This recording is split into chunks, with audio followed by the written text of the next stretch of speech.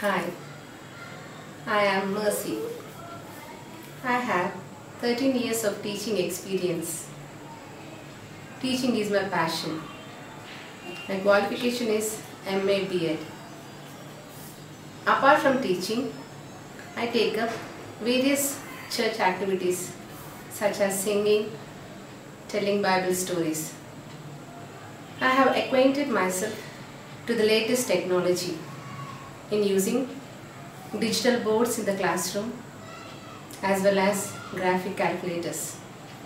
Before going to the topic, I would like to ask you some questions.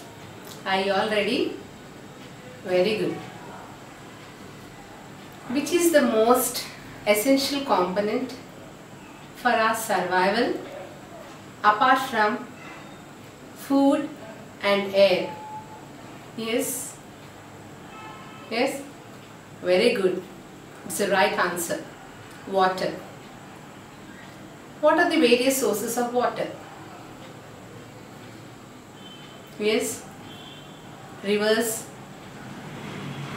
lakes, oceans, ponds. Excellent. Apart from these sources, which is the most important source of water? Yes, anybody in the class? Very good. It's rain. Yes. So let us learn about how does rain occur. Yes. There were two siblings, my names Winnie and Tina. They were playing in a park. Suddenly, it started raining. Winnie rushed to Tina and said, Sister, it's raining. Shall we go back home? Sister said, No, no. Let us stop the rain. Sister, can we stop the rain? Let's try our best. Let us sing this rhyme. Rain, rain, go away. Come again another day. We would like to play. Hey sister, look at the sky.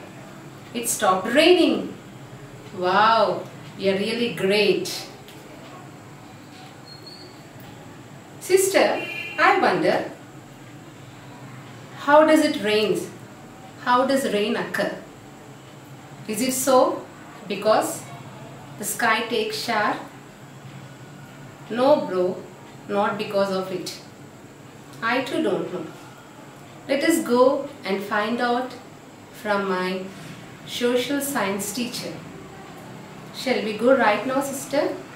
Yes bro, let's go. Together they went to Tina's social science teacher. Teacher offered them the seat and said, what is the reason for coming? They said they wanted to know how does it rain. Teacher said, very good, what a good question you have asked. I'll explain you in detail. It rains because of precipitation. Teacher, what is precipitation? Before going to this term, before knowing about precipitation, we should first learn what is a water cycle. Yes. Water cycle, it is the process by which water changes its form and continuously circulates between oceans, air and land. So this process is known as water cycle.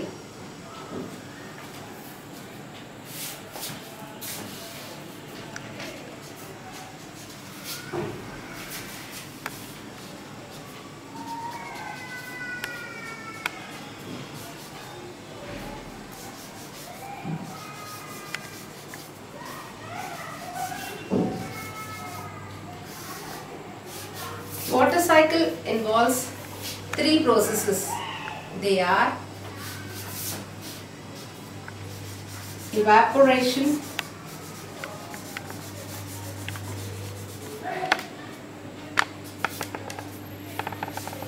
condensation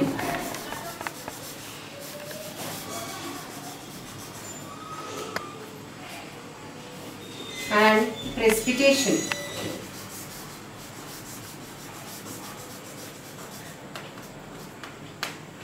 yes. So what are the three processes involved in water cycle? Yes. Very good. Let us all applaud for him. To understand the process of evaporation here is a small activity. Are you all ready? Fine take a jar of water and mark the level of water.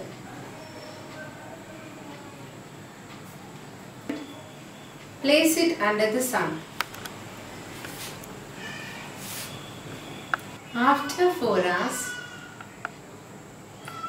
you will notice that the water level in the jar has reduced this is because of the heat of the sun the same way water in oceans rivers lakes etc when heated due to the heat of the sun changes its form from liquid to gaseous form and hot air it expands and goes up.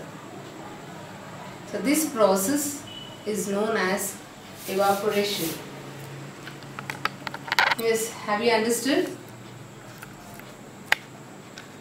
Can anyone tell me what is evaporation?